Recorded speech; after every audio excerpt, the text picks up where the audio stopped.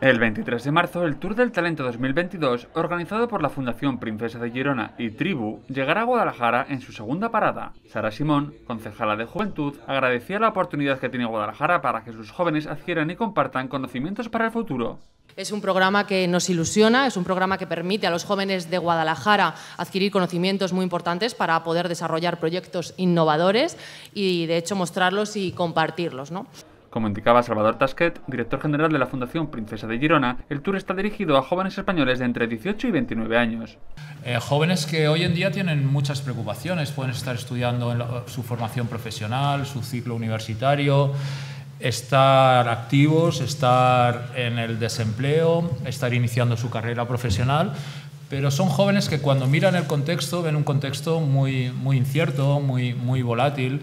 con una serie de problemas eh, que les abordan muy, muy de lleno. Este tour nace como una forma de acercar los conocimientos y conceptos de una forma muy clara. Nos gusta hablar también de tecnología, esa tercera T, eh, a través de la cual queremos crear un espacio digital permanente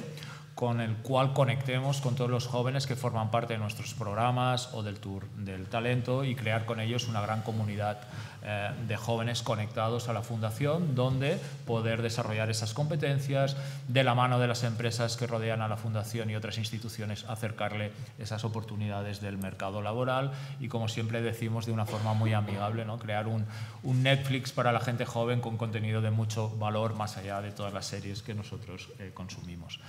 Cada año tendrá cuatro etapas, cada una en cuatro ciudades distintas, más la última parada en Girona. Esta segunda etapa ha sido Guadalajara, en dos espacios, el Tice e Ibercaja. La segunda etapa del, eh, del, tour, y valga la analogía, esperemos que de entre las etapas sea una gran etapa reina en todos, en todos los, los sentidos. Una etapa muy intensa que hemos diseñado, de dos días, pero de mucho contenido, de mucho valor, con más de 24 horas, inicialmente en tres espacios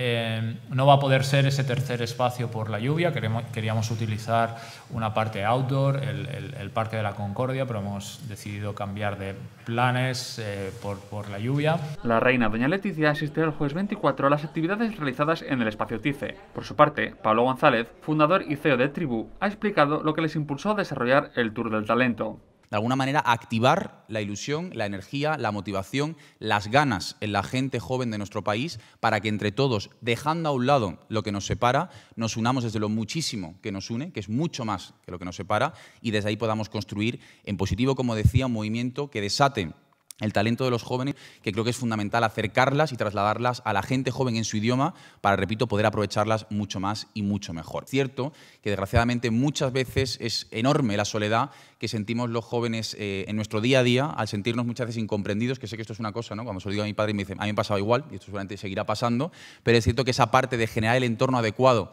para que cualquier joven venga de donde venga, haga lo que haga y quiera hacer lo que quiera hacer con su vida, entienda que en su ciudad, en Guadalajara, que en su comunidad, tiene las oportunidades necesarias para poder conseguir salir adelante y desarrolló el contenido del tour en ocho ejes. Estos ocho ejes principales, el primero de ellos y muy importante todo lo que tiene que ver con la parte ¿no? de ese futuro educativo al que nos enfrentamos, un segundo eje fundamental, la parte de orientación laboral en un mundo en el que no sabemos nada de lo que va a ocurrir, con lo cual si ya era complicado antes, ¿no? ahora que entramos una carrera con 18 años, ¿cómo va a ser el mundo cuando tengamos 22 o 23? Nadie lo sabe, con lo cual esa parte de orientación para prepararnos para un mundo, desde luego incierto, es clave. La parte del emprendimiento como un motor económico y social de cualquier ciudad y de cualquier región, la parte de marca personal en un mundo tremendamente hiperconectado, esa parte de salud eh, emocional de forma 360, ¿no? en un momento como el que estamos viviendo, el entorno digital, del que muchas veces creemos que sabemos absolutamente todo y tenemos bastante poca idea para todo lo mucho que, que plantea ¿no? y que supone ahí fuera, y por supuesto no puedo olvidar toda la parte de soft skills y la parte de comunicación y sostenibilidad